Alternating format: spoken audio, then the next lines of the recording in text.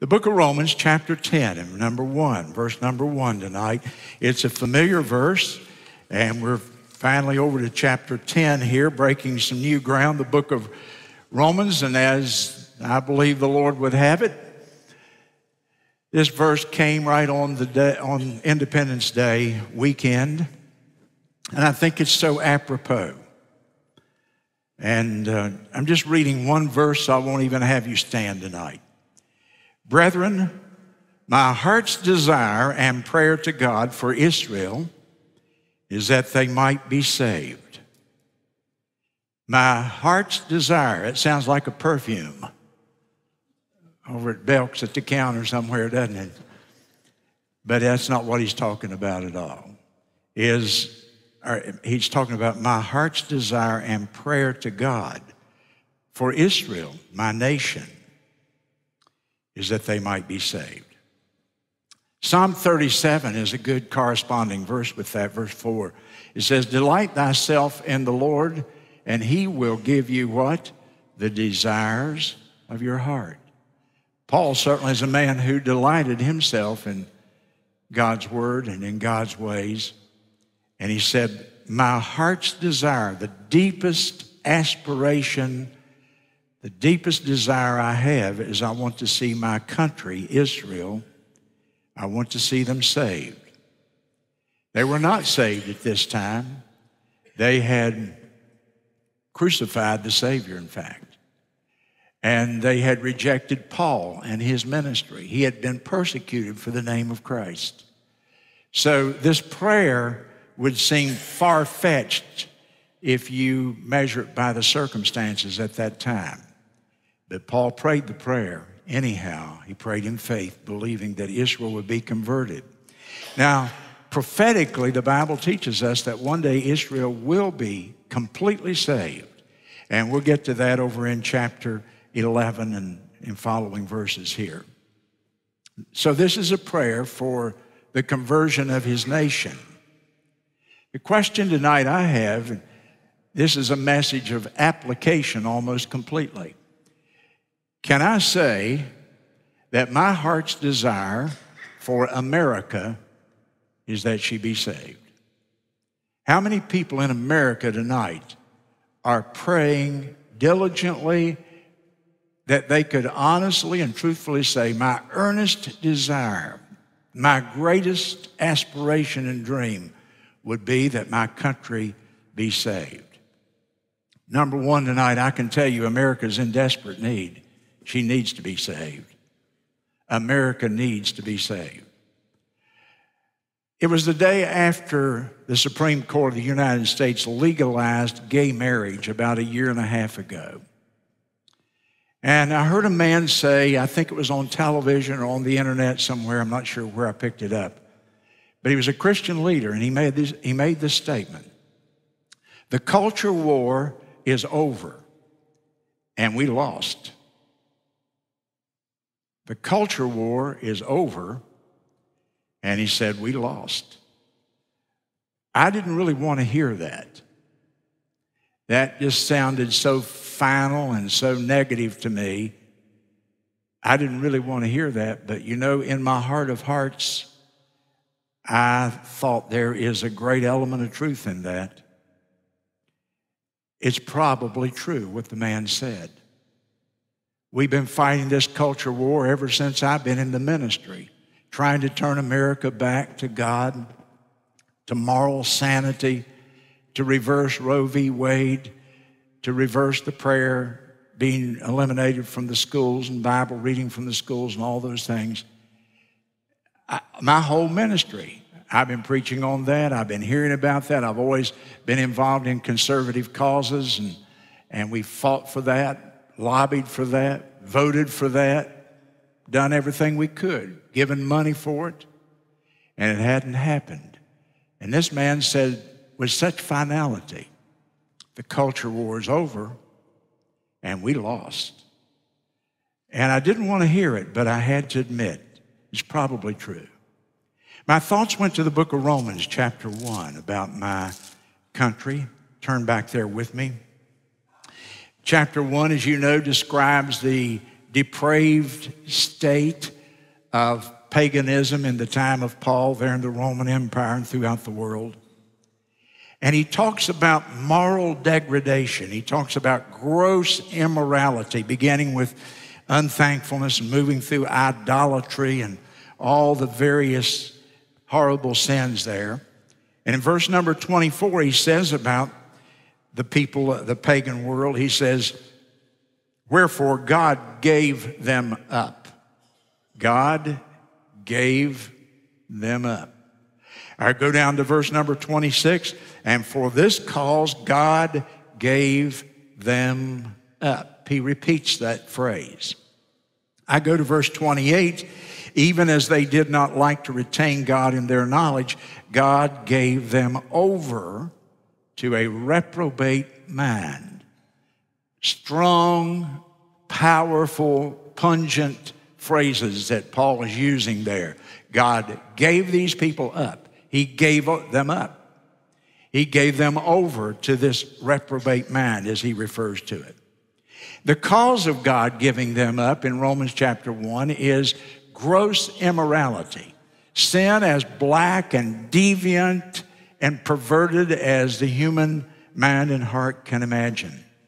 And because of their gross immorality and evil, then God brought reprobation upon them. You see that word there, the last word, or you see it at the end of the phrase in verse 28. God gave them over to a reprobate mind. You don't hear that word much today. That's more of a theological term. What is a reprobate mind? What is reprobation? Well, if you'll look that word up in the original languages, it means actually to not pass the test, to fail the test. God gave them up because they failed his test, whatever that may have been. Another definition of it, of a reprobate mind, is to be debased.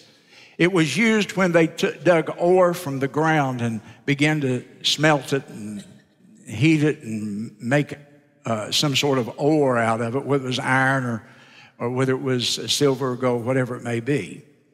And if the ore had too high a percentage of earth and not enough of the, of the metal itself, then they reprobated it. It was debased. They got rid of it. It had no value. So the word picture here is a very powerful word picture. God's word is saying to us that these civilizations of the pagan world came to such a diabolically evil level that Almighty God one day said, That's enough. I'm going to reprobate you. I've given you over to a reprobate man, to a debased man, to a man that is of no value because you have failed the test and you can't pass as the level of ore that I want you to be or that's required of you. And so this gross immorality is what made God give up on these ancient civilizations. And he gave up on a lot of them when you begin to study history and to look. He gave up on Sodom and Gomorrah. You know the story of that. He, he told Lot to pray, but he could not find enough righteous people that it merited sparing the city and giving grace to it. And then there was ancient Babylon. You remember the night that Belshazzar was having that orgy up there at the palace, and you remember that story? It was a vile, evil thing, and gross immorality involved again. And suddenly a hand appears on the wall and begins to mysteriously write. Your days are numbered, and within one hour the writing of that hand, we're told that Cyrus's army came down through the dry riverbed. He had dried up the river upstream, and now he and his army marched down the riverbed, emptied of its water, under the walls of the city of Babylon, and within an hour, he had completely conquered that great and ancient city. Because of their evil, I believe God judged them. Ancient Greece, where homosexuality and perversion were epidemic beyond anything that perhaps we even have in our culture today. Ancient Rome, known for its cruelty, its barbarism, its wickedness. And even ancient Israel, God's own people. You remember how that he said, Under every green tree, you have erected an idol, and you've turned from me. And over and over and over, the prophets are sent to Israel, and they reject every one of the prophets. Each and every one of them are turned away. Not one of the one time did the prophets really have true national revival. And we come finally to where God says that's enough. The northern kingdom, God allowed the Assyrians to come down and to conquer them. And then the southern kingdom, God allowed Babylon to conquer them. And so there came a time when God gave them up. He gave them over to reprobation. He said, You're debased, you're so vile, so uh, wicked, so evil, that I'm not going to be able to spare you, and judgment will come. And so, is there hope tonight for America? You all have heard the story, it's so familiar, of Alexis de Tocqueville. He was a political science uh, genius from France. And he came as a young man, I think it was the 1830s, and he toured America. And he said, I've toured your country and I've been in the factories and I've been in the shops and I've been in the banks and I've been in your schools. I've been in every level of American life. And he said, It was not until I went into the churches that I found the secret of America's greatness. You remember that quote, don't you? It was when I went to the churches that I found the secret of America's greatness because there the pulpits literally flamed with righteousness. And then de Tocqueville said, America is great because she is good. And when she is no longer good, she will no longer be great. She will no longer be great. And the question is is America good tonight? The question is were the ancient nations that God judged for their wickedness any more wicked than America is tonight? We weren't living back then. We don't know all the details of what was happening in those ancient cultures. But how could they be more wicked than America is in many ways? If you I don't want this to be a downer. I don't want this to be negative, but we have to deal with truth. We have to deal with reality. How could Rome or Greece or ancient Israel or those nations, how could they be more wicked than what we see in our own culture tonight? For example, we know that now for over 40 years, over 1 million children have been murdered in their mother's wombs we're approaching now 60 million legalized abortions. We don't know how many illegal abortions are carried out, but we know we're approaching 60 million legalized abortions in America since Roe v. Wade was passed. Human trafficking is an exploding crime and, and, and evil in our world. And in America alone, 14,000 to 17,500 a year. Between 14 and 17,500 per year, people go missing for the purposes of sexual and human trafficking. 80% of them are women, and of the 80%, 50% are children, little girls. And we hear about these things. A little child goes missing. We never find them in all probability in those case, in most cases they ended up being a victim of trafficking. They were sold. In fact in many places in the world this is an internet statistic. I hope it's reliable. I'm not sure. But i read that you could buy a human being for $90 17,500 of them or so come from America every single year. It's worse than some other places. And that I'm not going to take the time and talk about the details of drugs and violence and murder and crime and corruption and all the wickedness that we know about. Of course, there's a spiritual deterioration. We did take the Bible out of the schools where we used to read it every day. Don't tell me that didn't have an influence. We did stop allowing people to pray to Almighty God in school. And Today, Christianity itself is, is under attack. All this silly diversity training we're having in the country today, when you boil it down, most of it is just an attack on Christian civilization. And so we live, uh, can we honestly say that these other nations were more wicked than America is today? I was recently reading the book of Jeremiah. I just took my pen and underlined phrases as they began to jump out. I said, that might be a good sermon someday. And um, I'm not going to preach it as a sermon, it's just a little thought here. But in chapter 2, Jeremiah begins his 40 some year ministry by saying, Can a nation change her gods? And I underlined that. I said, Yeah, I know one nation has changed her gods. And then I read over a few more chapters, and he said about God's house, he said, The priests have so deteriorated in their commitment to God's word that they've made my house a den of thieves. Jesus even quoted that over in the New Testament. That you go to the church and you get ripped off by the spiritual leadership of the country. And then he said, My people have not obeyed the voice of God. They received not correction, and truth has perished. And we've talked about that many times, haven't we? In fact, Isaiah embellished that thought a little bit and said, Truth has perished in the streets. It's rubbish. We walk on it now. And I thought, yeah, and that's true of, of our nation. After Jeremiah wrote that book of all the problems of the book of Jeremiah, he wrote another book that most people don't read too often.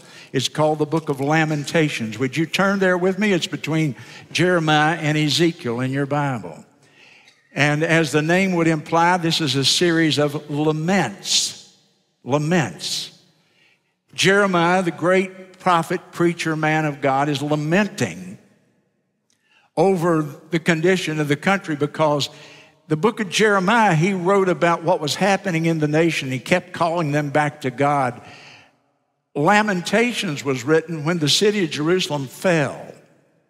When Jerusalem would no longer exist, the, the, the, the enemy had come in and taken the people away, and the city was now in dire straits. It was an awful, awful time in the life of the nation of Israel. And here's what Jeremiah sums up those times with these words. Chapter number three, verse number 22.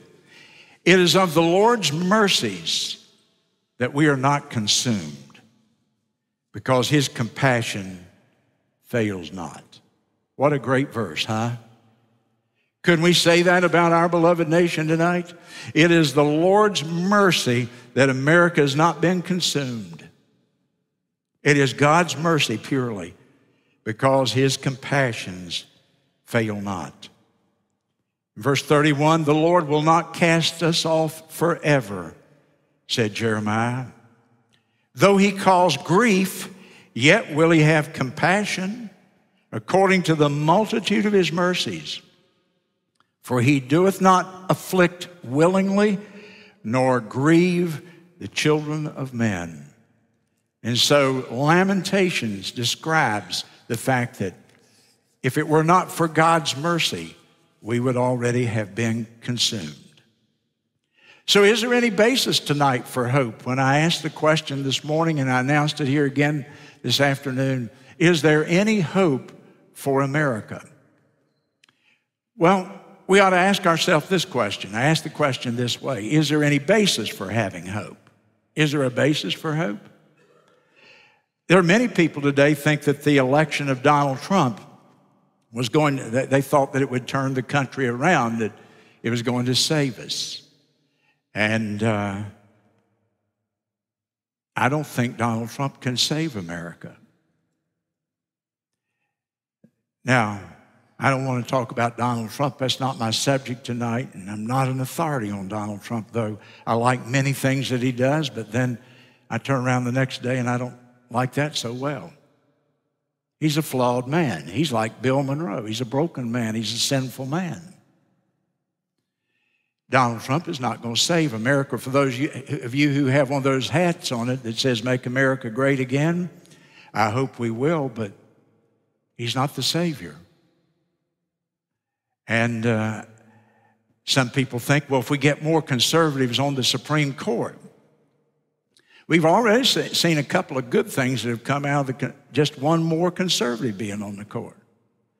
But I'm not depending on the Supreme Court for my future or you.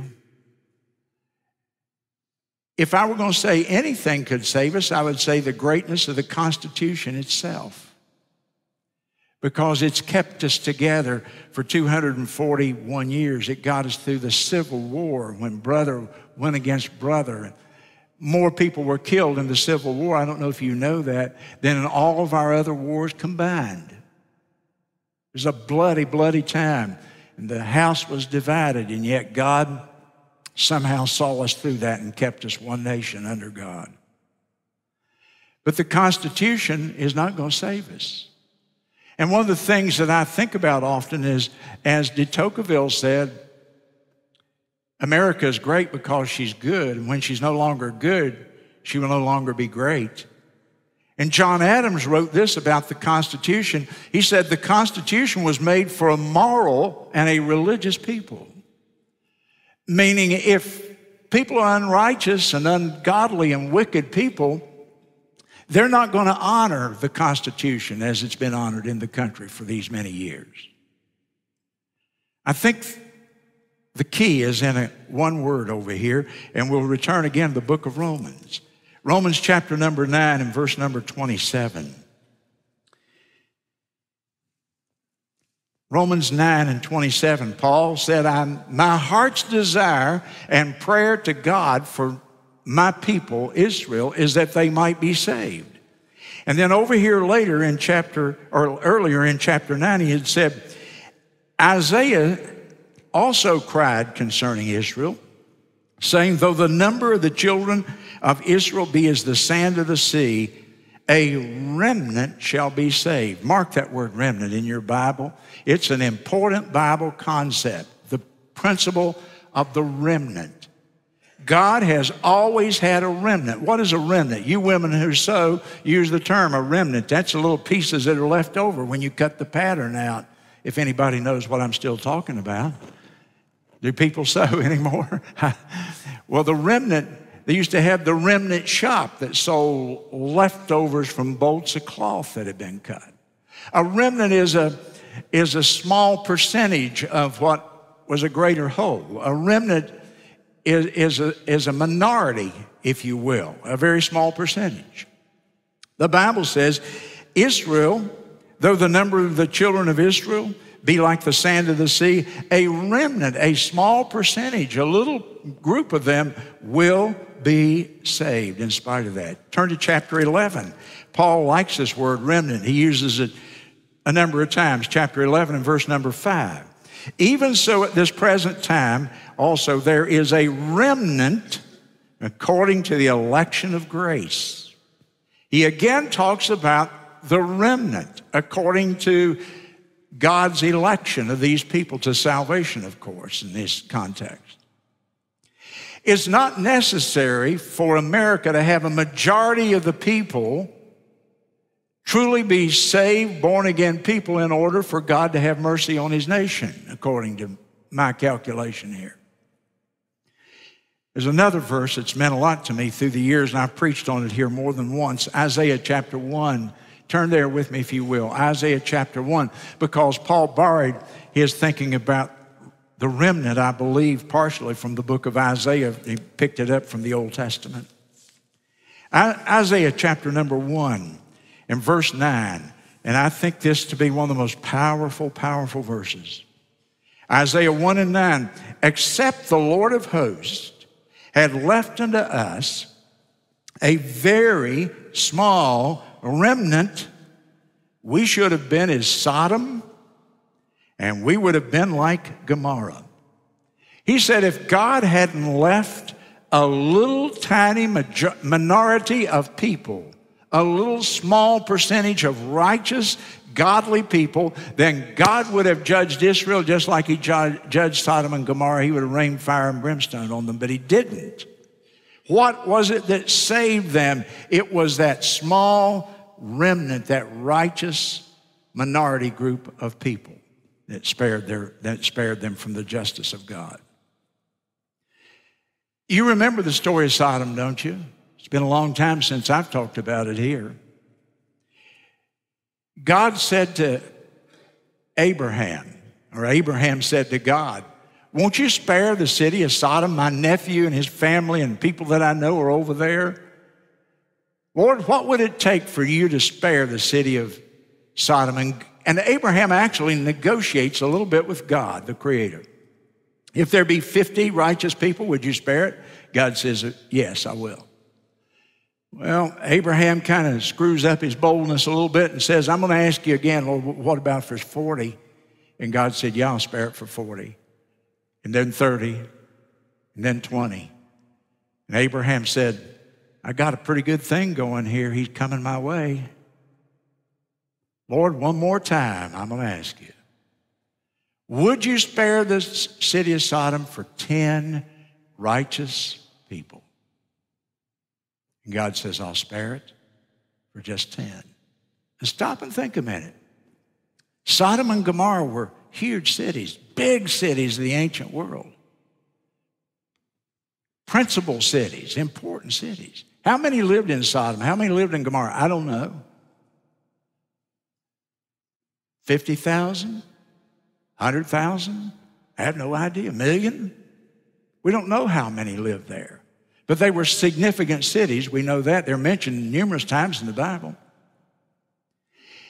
And if he could have found 10, just 10, God said, I'll spare the city. But he didn't find 10. Fire and brimstone rained down on Sodom and Gomorrah because God had a quota of righteous people in that society and had that culture met the quota, God would have spared, would have shown mercy for the benefit, for the sake of righteous people. And they couldn't even find 10. And so judgment came.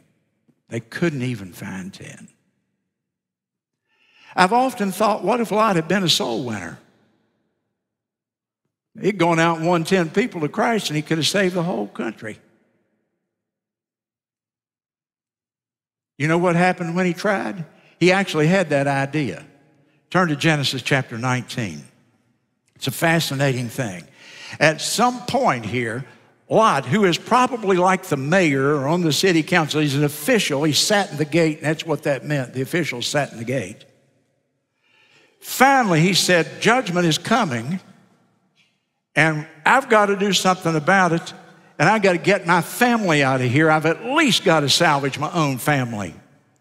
And so in, in, Genesis chapter number 19 and verse number 14, he goes and he speaks to his sons in laws. Lot went out and spake unto his sons in law, which married his daughters, and said, Up, get out of this place, for the Lord is going to destroy this city.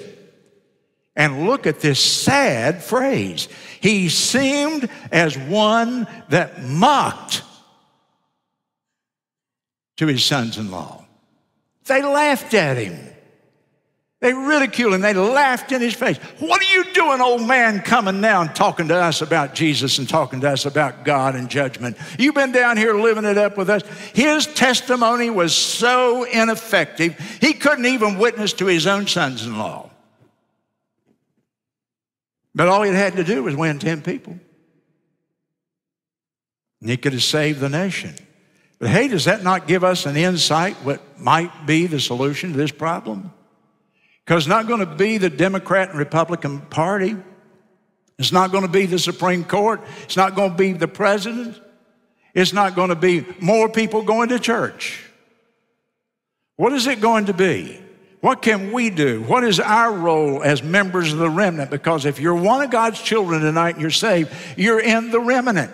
The small group of people that are left in a culture when the culture is completely putrefied and deteriorated, and there's a little group of righteous people trying to hold the fort. So, what is our role when that happens? Well, number one, I would submit to you our first role is to pray. You knew I was going to get to that, didn't you?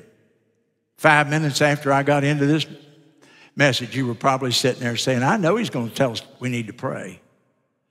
I am. Why don't we? Why isn't America tonight having a great prayer meeting all over the country with tens of thousands of people in every community on their face begging God for His mercy and His grace and to spare America so that we can pass it on to our children and our grandchildren until Jesus comes. But we're not. We have the National Day of Prayer. It's a joke. I go down the courthouse and they got 38 people down there from the whole city, or the whole county of Florence. Hebrews chapter 11, verse 6, one of our favorite verses. You know it by heart. You've heard me say it so many times. In Hebrews 11 and 6, it says, For without faith it's impossible to please God. Period. Then it says, Hebrews chapter 11 and 6, that he that cometh to God, that's prayer, must believe that he is, that God exists, that there is a God, a creator God. He that comes to God must believe that he is, and say the next phrase with me. He is a rewarder of them that what? Seek him. People who get their prayers answered believe with all their heart in Almighty God's existence but not just that he is out there as some deist believed, but that God hears and rewards those who come to him in faith. So why don't we pray more? It all it really has to logically come down to this. If you take the truth of that verse, we don't believe that praying will make any difference. We don't pray because we really don't believe that He does reward those who seek Him enough to make it worth our time and while. It's just logically where you've got to end up with that. But if we prayed, it could make a difference, I'll tell you. You've heard the story, of the Constitutional Convention in Philadelphia in 1787. And they were deadlocked.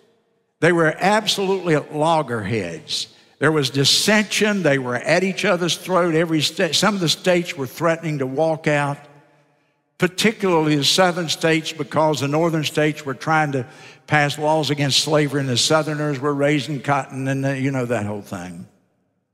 And also, there was a big debate going on about the, the um, number of representatives that they would have.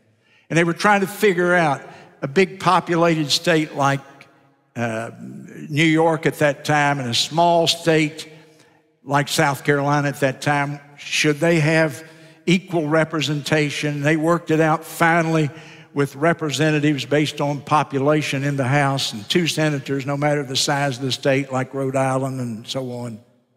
But before they had it all worked out, they were the loggerheads. They were fighting dissension, division going on in that room up there in Philadelphia.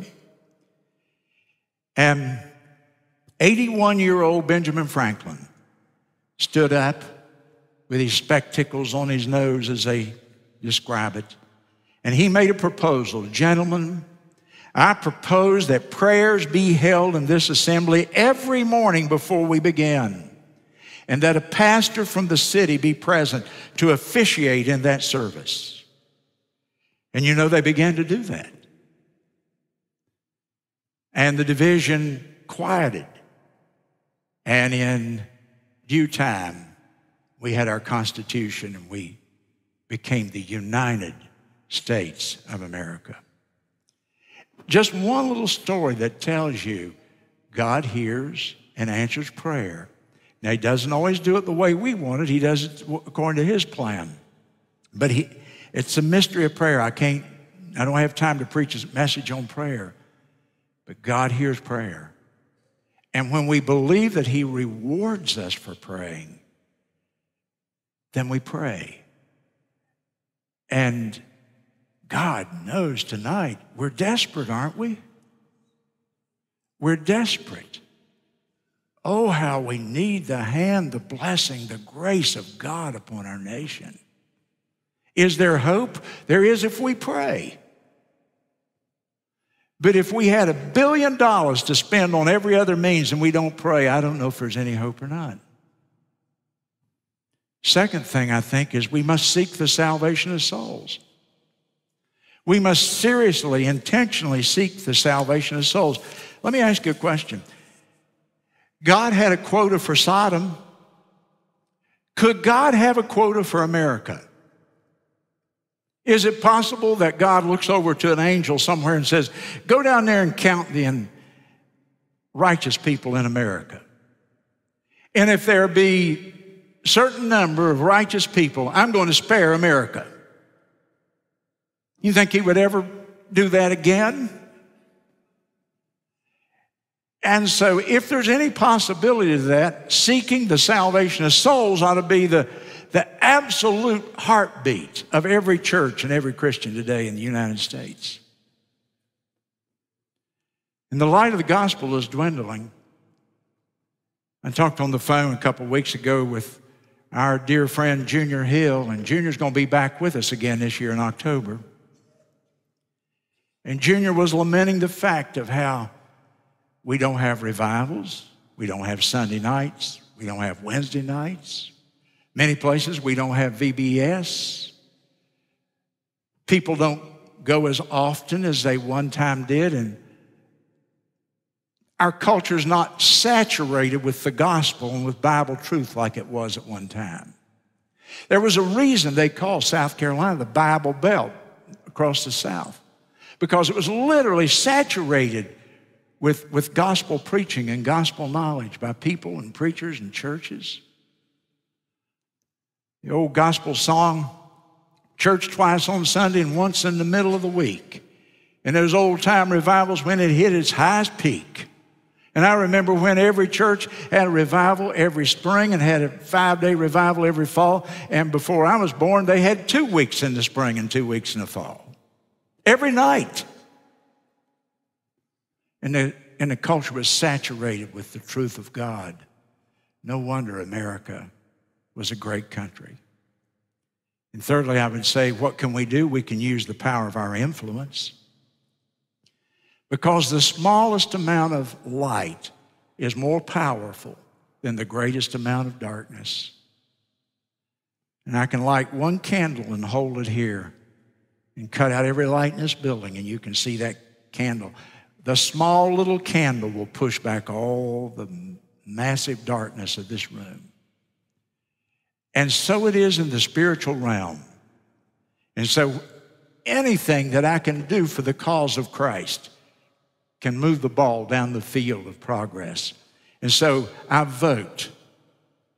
Shame, shame on you if you call yourself a Christian and you don't vote. When so many people died for that privilege. And we're not in the election season, so I can say it now, can't I? And I'm not politicking for anybody. But vote. That's using your influence, the influence that we all have. We can work for righteous causes. I know you have household duties and family duties and vocational duties and all that, but somehow or other, we have to be willing to make those sacrifices and to work for what I would call righteous causes. And out when we leave here tonight and go out tomorrow, where, whatever we're doing in the work world, construction worker, office worker, or, medical worker, educational work, whatever it may be, every conversation, we can somehow get truth in there. We can get light in there. We can give the tract. We can do small acts of kindness for people we can change, we can't change America, but I can change my little world by the very spirit and the very attitude that I have. I can influence the people in my world. So, is there any hope for America? Yes, there is. Because God has pulled nations back from the brink over and over and over. He's resuscitated what looked like was, was uh, death. Is there hope? Yes, there is hope. But and it's a big B U T. But there's not hope until America changes course. We must change course because right now we're heading for the abyss. Turn with me the book of Psalms and another great thing of principle here. Psalm number 78 and verse number 7. Psalm 78 and 7. What a wonderful verse. I just discovered this a few weeks ago, and I've just seen it over and over and thank the Lord for it. I've never noticed the verse before.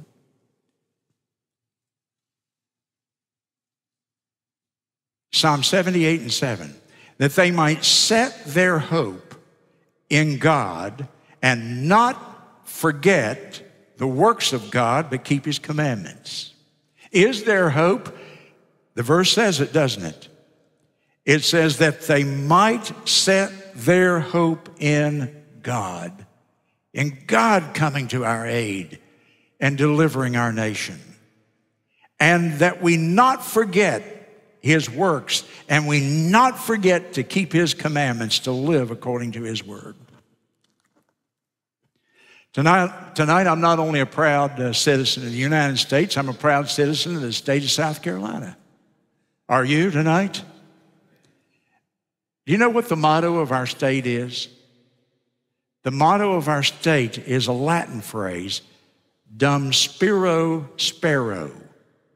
And in Latin, that means, while I breathe, I hope. While I breathe, I hope. That's true for us tonight, isn't it? We won't give up hope on our country. But oh, how we need God to visit it. And as long as we have breath, we hope in God. We keep His commandments. We remember His works, what He's done before. We pray. We seek the salvation of lost people. And we use every bit of influence we have to change not the whole world, not even the whole nation, but the world around us, the little world that I live in. I can be the salt and I can be the light. And so tonight, my heart's desire and prayer to God for America is that we might be saved. Stand to your feet with me, if you will, please.